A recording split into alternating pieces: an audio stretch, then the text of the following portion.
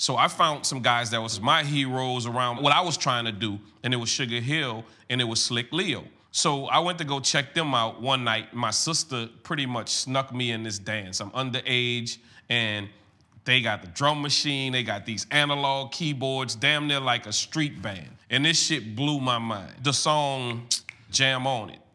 Doom, doom, doom, doom, doom, doom, doom, doom. That was the bass line that they was known for.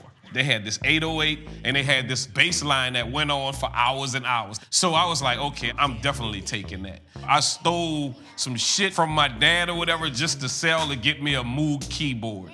Got me a Moog keyboard, now I got the 808 and the Moog. And the crazy thing is, my dad kind of knew. He was just like, well, shit, I get it. Now I see what you're doing with it.